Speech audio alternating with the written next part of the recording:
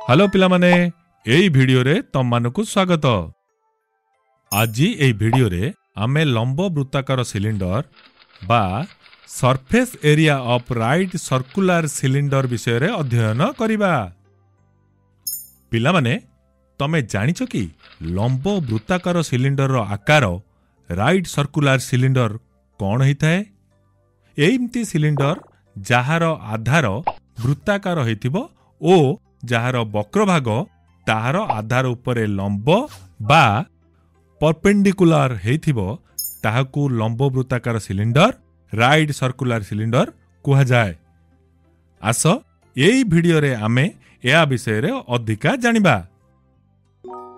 ଥମସ୍ ତମ ଘରୁ ତ ବହୁତ ଭଲ ବାସ୍ନା ଆସୁଛି ମୋ ମା ଅଗରବତୀର ବ୍ୟବସାୟ ଆରମ୍ଭ କରିଛନ୍ତି ମୁଁ ଅଗରବତୀ ଗୁଡ଼ିକୁ କାଗଜର ଲମ୍ବ ବୃତ୍ତାକାର ସିଲିଣ୍ଡର ତିଆରି କରି ପ୍ୟାକେଟରେ ଭର୍ତ୍ତି କରିବାରେ ତାଙ୍କୁ ସାହାଯ୍ୟ କରୁଛି।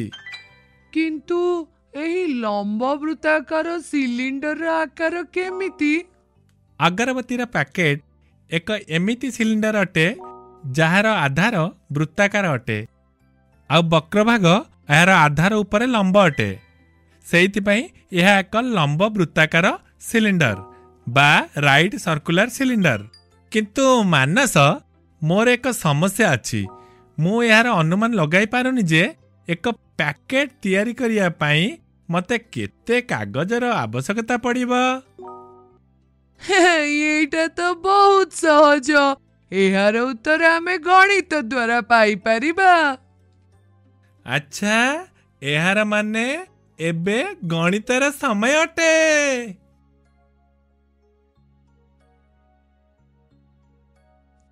ଦେଖ ଥମସ୍ ତତେ ଯୋଉ ସିଲିଣ୍ଡର ଆକୃତିର ପ୍ୟାକେଟ ତିଆରି କରିବାର ଅଛି ତାହା ପାଇଁ ବ୍ୟବହାର ହେବାକୁ ଥିବା କାଗଜ ତାହାର ସମସ୍ତ ପୃଷ୍ଠତଳ ପାଇଁ ବ୍ୟବହାର ହେବ ଅର୍ଥାତ୍ ସିଲିଣ୍ଡର ଆକୃତିର ପ୍ୟାକେଟ ତିଆରି କରିବା ପାଇଁ ଦରକାର ଥିବା କାଗଜ ତାହାର ସମୁଦାୟ ପୃଷ୍ଠତଳର କ୍ଷେତ୍ରଫଳ ବା ଟୋଟାଲ ସର୍ଫେସ୍ ଏରିଆ ସହ ସମାନ ହେବ ମାନସ ଆମେ ପୂର୍ବ ଶ୍ରେଣୀରେ ସିଲିଣ୍ଡର ପୃଷ୍ଠତଳର କ୍ଷେତ୍ରଫଳର ଅଧ୍ୟୟନ କରିଥିଲେ।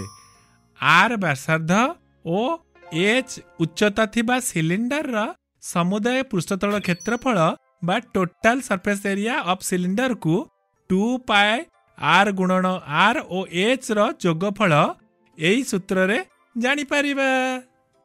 ଆଉ ସିଲିଣ୍ଡର ବକ୍ର ପୃଷ୍ଠତଳର କ୍ଷେତ୍ରଫଳ ବା curve surface area of cylinder ଜାଣିବା ପାଇଁ ଆମେ ଟୁ ପାଏ ଆର୍ ଏଚ୍ ର ଗୁଣଫଳକୁ ଖୋଜିବା।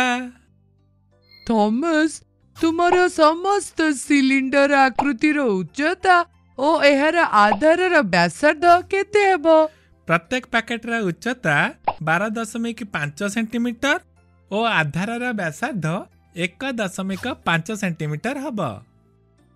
ଆମେ ଜଲ୍ଦି ସିଲିଣ୍ଡରର କ୍ଷେତ୍ରଫଳର ସୂତ୍ରରେ ତୁମ ସିଲିଣ୍ଡର ଆକୃତିର ପ୍ୟାକେଟର ଉଚ୍ଚତା ବାର ଦଶମିକ ପାଞ୍ଚ ସେଣ୍ଟିମିଟର ଓ ତାହାର ଆଧାରର ବ୍ୟାସାର୍ଦ୍ଧ ଏକ ଦଶମିକ ପାଞ୍ଚ ସେଣ୍ଟିମିଟର ଲେଖି ଏଇଭଳି ସମାଧାନ କରିବା।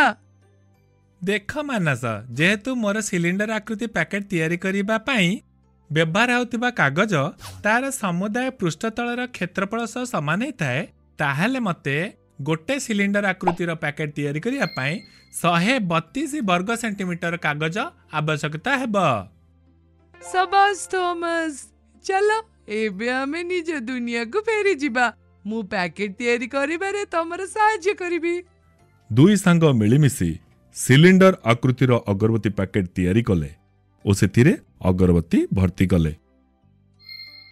ଏହି ଭିଡିଓରେ ଆମେ ଲମ୍ବ ବୃତ୍ତାକାର ସିଲିଣ୍ଡରର ପୃଷ୍ଠତଳର କ୍ଷେତ୍ରଫଳ ବା surface area of right circular ସିଲିଣ୍ଡରର ଅଧ୍ୟୟନ କଲେ। ଆଗାମୀ ଭିଡିଓରେ ଆମେ ଏହା ଉପରେ ଆଧାରିତ ଆଉ କିଛି ମଜାଳିଆ ଉଦାହରଣ ଦେଖିବା।